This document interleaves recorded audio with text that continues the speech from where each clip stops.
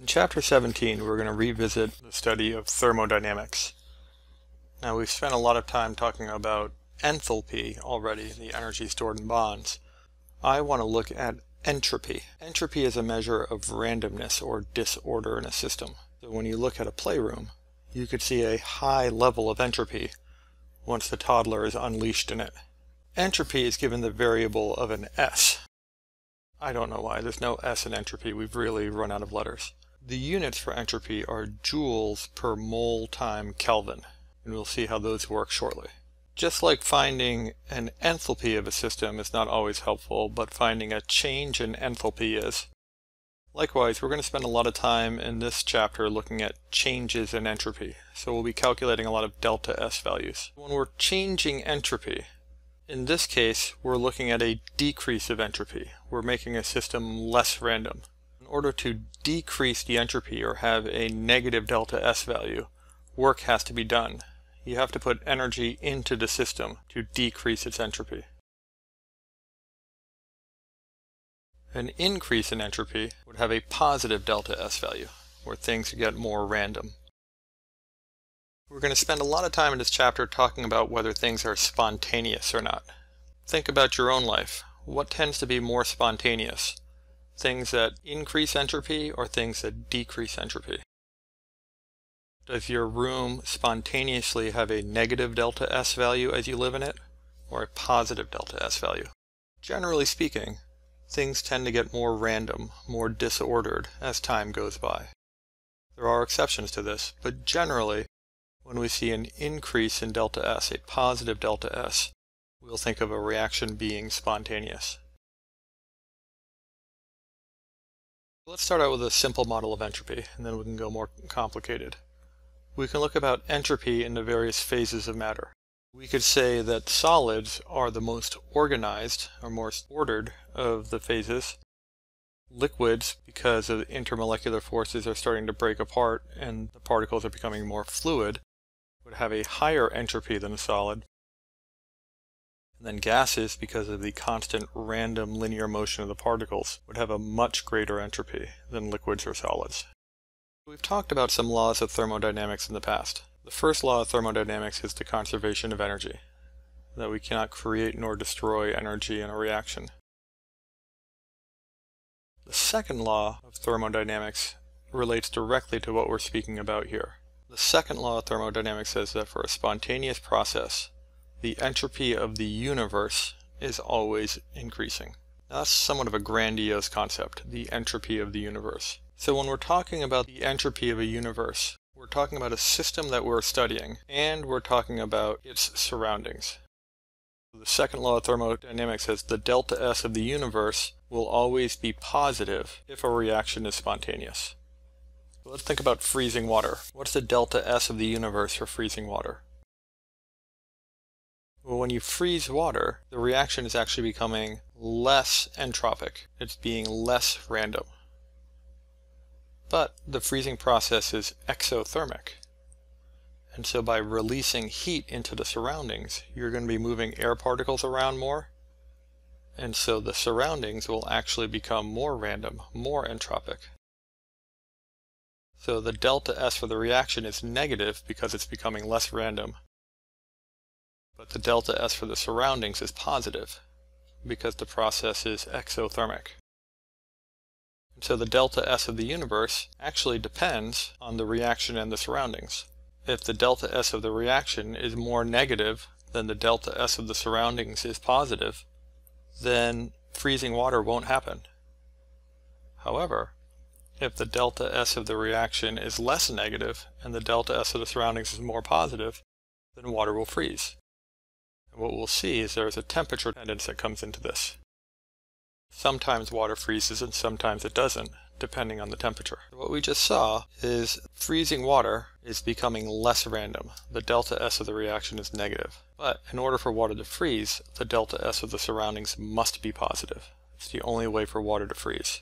So saying that the delta S of the surroundings is positive is the same thing as saying that a reaction is exothermic. A negative delta H value for a reaction will give you a positive delta S value for your surroundings. For a reaction to be spontaneous, the delta S of the universe must be positive. That's the second law of thermodynamics. So let's take a look at this chart. Let's say I have a reaction that is becoming more entropic. In other words, it's getting more random and has a positive delta S value. Let's say that the surroundings are also increasing in entropy. Now, increasing the entropy of the surroundings is the same thing as saying that the reaction is exothermic, or has a negative delta H. Well, in this case, if the delta S of the reaction is positive and the delta S of the surroundings is positive, the delta S of the universe must also be positive. So, according to the second law of thermodynamics, these reactions will be spontaneous. They will happen on their own. All right, let's look at the counterexample. Let's say the delta S of a reaction is negative and the delta S of the surroundings is negative. Well, the delta S of the surroundings being negative means your reaction is no longer exothermic, it's endothermic. You have a positive delta H for your reaction.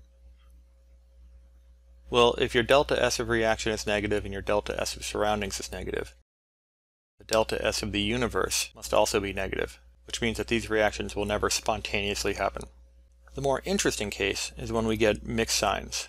So for example, for freezing water, we said that the delta S for the reaction is negative, and the delta S of the surroundings is positive. Again, if the delta S of the surroundings is positive, it's an exothermic reaction. So what will the delta S of the universe be? Well, it actually depends. Which term is bigger? The delta S of the reaction or the delta S of the surroundings? What's going to win that tug of war? Whether or not that reaction is spontaneous will actually depend on the temperature. Remember, this is an example of freezing water. If we flip the signs, if we say that the delta S of the reaction is positive, but the delta S of the surroundings is negative, in other words, this is an endothermic process, well again, we don't know what the delta S of the universe will be. It will depend on which is bigger, the delta S of the reaction or the delta S of the surroundings. So this will also be temperature dependent. This would be an example of a melting ice cube. Melting ice cube is becoming more entropic, but it's endothermic, so it's decreasing the entropy of the surroundings. Ice cubes melt at some temperatures, and they don't melt at others. Now to calculate the entropy of reactions, this should look pretty familiar to you. After learning about Hess's law, we learned how to find the change in enthalpy of the reaction by using the heats of formations of products and reactants. And we said that the delta H for a reaction will equal the sum of the heats of formation of the products minus the sum of the heats of formations of reactants. The same process holds true for calculating delta S values. The delta S for a reaction will equal the sum of the entropy of the products minus the sum of the entropy of reactants. We'll do a problem in the next video where we calculate the delta S values using this technique. One more topic I want to hit in this video, though, before we do an example problem. I want to introduce you to Josiah Willard Gibbs, J. Willard Gibbs. We have two pictures of a young Josiah Willard Gibbs running around probably the campus of Yale University, and then the elder, more stately J. Willard Gibbs. Gibbs found a way to calculate the maximum amount of work that can be attained from a chemical process. How much energy can actually get from a reaction. And what Gibbs did is he combined the two concepts that we've talked about already. He combined the concept of enthalpy that we did previously and the concept of entropy, which we've just been talking about. This free energy, as Gibbs called it, turns out to be the perfect indicator as to whether a reaction will be spontaneous or not. Because if free energy is being released, it tells us the reaction will happen on its own. If free energy is going into the system, that means that this reaction is going to need some help.